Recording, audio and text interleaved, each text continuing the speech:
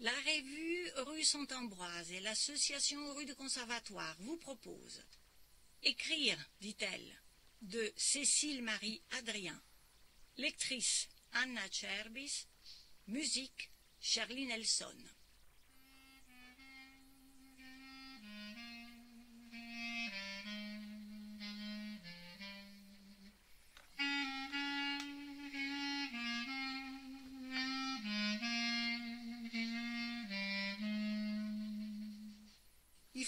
Beaucoup aimer les hommes. Beaucoup, beaucoup. C'est Marguerite Duras qui l'a dit, pas moi.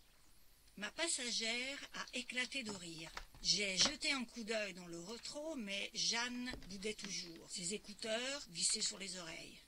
Elle m'en voulait d'avoir dû céder sa place à l'avant. Aussi pour la présence de cet inconnu avec qui j'allais discuter durant tout le trajet. Jeanne m'avait fait une scène avant le départ. Elle aurait aimé qu'on soit toutes les deux. Pour une fois, son frère n'était pas là pour l'emmerder et elle n'en profiterait même pas. Mais on rentrait du festival Jazz in Marciac. Ça fait 800 bornes jusqu'à Paris. Je venais de me séparer du père de mes enfants. L'année était difficile aussi financièrement. J'avais besoin de cette passagère, Stéphanie, pour m'aider à payer le trajet. Les hommes sont si décevants à la longue, tellement peu surprenants. Stéphanie avait besoin de vider son sac. Il lui restait plus de 700 kilomètres pour le faire. Elle avait lu Duras. Cela représentait une chance d'élever le débat. Vous avez vu beaucoup de concerts? Un tas. J'étais bénévole pour l'organisation du festival. On a droit à des entrées gratuites. Et vous? Seulement deux en salle. Et plein dans la rue. On est resté une petite semaine. Une amie avait loué un gîte à dix bornes de Marciac, avec piscine et odeur de merde. Il gavait des oies dans la ferme à côté. On a toutes les deux. L'industrie du foie gras ne l'emballait pas plus que moi. Elle était végétarienne depuis vingt ans. J'ai tenté d'évaluer son âge.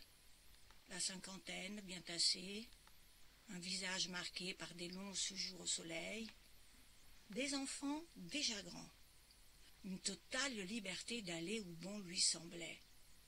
Des hommes rencontrés dans les festivals l'été, des morsures vite oubliées. Sa vie telle que je l'imaginais avait de quoi me faire rêver. Je n'avais connu personne d'autre que mon mari en douze ans. J'avais eu une brève aventure à un moment de la séparation en mars.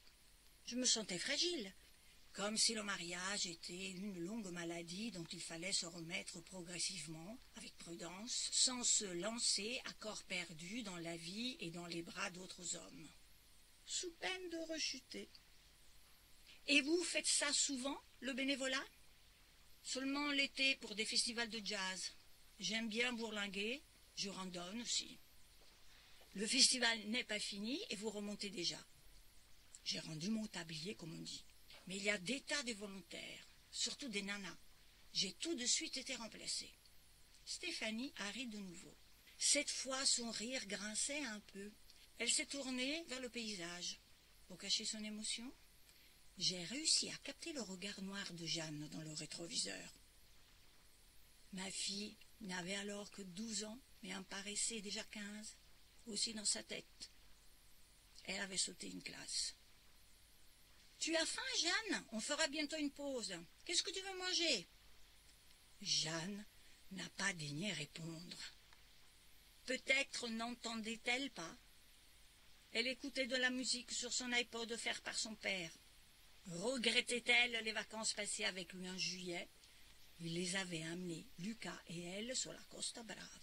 Mer, soleil, hôtel trois étoiles et churros à gogo plus fan que le festival de Marciac. Mal logé et en se restreignant sur les concerts, vu les tarifs du billet. Aïe, la culpabilité revenait au galop. Stéphanie était assez fine mouche pour comprendre. Bah, elle ne vous en voudra pas longtemps. C'est votre seule fille? Son frère fait un stage de spéologie et de l'escalade en Lozère. Il est avec mes parents. C'est un hyperactif, alors il faut l'occuper. Et vous Des enfants? Sont grands. 26, 22 et 19 ans. La plus jeune est partie en Équateur pour l'été, aider à la construction d'une école. L'aîné bosse dans le secteur du développement. Le cadet fait une école de journalisme. Vos enfants ont des beaux projets. J'espère que les miens s'épanouiront autant. J'ai souvent peur pour eux. J'ai jeté un regard anxieux à l'arrière, mais Jeanne ne faisait pas attention à nous. Il faut leur faire confiance. J'ai eu pas mal de problèmes avec l'aînée. Après le bac, elle ne voulait rien faire sinon fumer des joints. Je l'ai envoyée comme fille au père en Australie. Elle s'est prise de passion pour la culture aborigène et a commencé des études d'anthropologie en rentrant. J'ai bien noté qu'elle disait je. Ces décisions éducatives, Stéphanie les avait prises toute seule. Je retiens l'idée de les faire voyager. Ça ouvre l'esprit. Ils ont été à bonne école. J'ai longtemps travaillé pour les ONG. C'est comme ça que j'ai rencontré leur père. Un aventurier. Très fort pour planter sa graine, mais pour élever la couvée, plus personne. Confidence pour confidence. On s'en sort très bien seul. Stéphanie s'est penchée vers moi sans pour autant baisser la voix. Vous n'êtes pas divorcés depuis longtemps, séparés depuis mars, mais leur père s'occupe très bien d'eux. On a déjà opté pour la garde alternée. Un petit trémolo en fin de phrase m'a trahi. Je vivais encore très mal le fait d'être séparé de mes enfants la moitié du temps. Un mélange de tristesse et de honte. Il ne me serait pas venu à l'esprit pour autant de contester ce mode de garde. Jeanne et Lucas avaient besoin de leurs deux parents, et ce divorce, je l'avais voulu. Quelle chance Profitez-en pour faire ce que vous aimez. Prenez des amants. J'ai jeté un regard alarmé dans le rétro. Jeanne avait appuyé sa tête contre la vitre et fermé les yeux. Tant mieux. Stéphanie était une vraie épicurienne. Mais peut-on se mettre à la place des autres? Je la trouvais un peu vulgaire tout à coup. Un rire excessif, une bouche trop large, des œillades entendues mais elle n'était pas prête à lâcher le morceau. Y a-t-il au moins une activité que vous aimez pratiquer en solo? Je sais pas, moi. Le jogging, le piano, l'aquarelle, les balades le long de la Seine, la broderie au point de croix.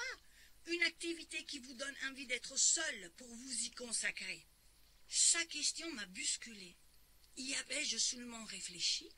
Livré à moi-même la moitié du temps depuis six mois, je me sentais vide. Libérés, certes, mais sans aucun projet.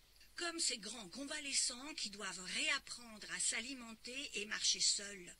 Pourtant, la réponse était déjà là, tapis en moi, restée en sommeil depuis mes années d'étudiante en lettres modernes. À la faveur de ce questionnement impromptu, elle a surgi en pleine lumière. Puisque vous citez Duras, c'est l'écriture. Voilà ce que j'aimerais faire de mon temps libre, J'écrivais un peu à l'adolescence, des poèmes, des cours d'histoire, puis au moins un journal, jusqu'à l'arrivée des enfants.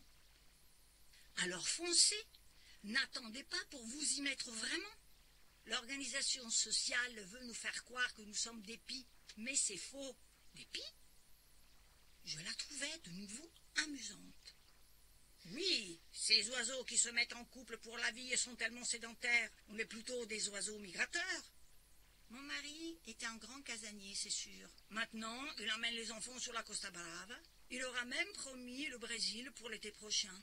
Vous ne trouvez pas ça gonflé? Le couple est un frein à l'épanouissement pour beaucoup de gens. Un imbroglio de contraintes mutuelles. Si votre ex-mari en profite, tant mieux. Rien ne vous empêche d'en faire autant. Grâce au low cost, on peut voyager pour pas grand-chose. Stéphanie était très forte en marketing. N'essayait-elle pas de me vendre ma nouvelle vie? Je me sentais légèrement euphorique. C'était la perspective de me remettre à écrire. On s'est arrêté sur une aire. Après avoir acheté des sandwichs, on s'est installé à la limite d'un petit bois. Encore tout ensommeillée, Jeanne avait mis dix bonnes minutes à se décider entre le thon crudité et le jambon mental. J'avais patienté. Stéphanie était allée nous attendre dehors. Nous étions assises dans l'herbe, Jeanne ayant daigné retirer ses écouteurs dont les fils penduillaient tristement autour de son cou gracile. Le jambon emmental lui paraissait fade. Elle regrettait le ton crudité, au goût sans doute rehaussé par la mayonnaise. Je lui ai proposé d'aller choisir une glace avant de remonter en voiture. Revenue en force, ma culpabilité était à deux doigts de me couper l'appétit. Je me suis promis de l'amener dans un vrai restaurant avant le retour de son frère. Rien que toutes les deux. Je lui ferai la surprise. Stéphanie lui a demandé gentiment Et toi, Jeanne, qu'est-ce que tu aimerais faire plus tard? Jeanne l'a fixé sans aménité, avant d'ouvrir le feu. Moi? Vous voulez dire quand ma mère se sera débarrassée de moi pour passer à la téloge montrer son bouquin? Ou quand elle sera partie faire le tour du monde parce qu'elle en aura assez de nous cuisiner des pâtes et qu'elle aura rencontré un type plus beau et plus riche que mon père? Stéphanie a éclaté de rire. J'étais consternée, repassant mentalement toute la conversation que nous avions eue dans la voiture sans savoir que Jeanne nous écoutait. Je voudrais être médecin. Là, je suis sérieuse. Jeanne m'avait déjà parlé de ce projet. Ses notes, toutes excellentes, ne pouvait que l'encourager dans cette voie. Ma Jeanne regardait Stéphanie et m'excluait de la conversation. Dans la voiture, j'ai choisi ma spécialité. Je serai psychiatre, c'est décidé. C'est un beau projet. Tu trouves que les gens vont mal et tu voudrais les aider? Les gens vont très mal, à mon avis. Très, très mal. Surtout les femmes pies qui pondent des œufs et après ne veulent plus s'en occuper. Alors elles détruisent le nid. Vous voyez le genre? Jeanne était toute pâle, et sa voix tremblait. De rage et de chagrin. Elle s'est levée d'un coup, balançant son jambon aimantal dans les buissons. Elle s'est dirigée vers la voiture. Ma culpabilité a atteint un climax inégalé, au-delà duquel, fatalement, elle ne pourrait que décroître.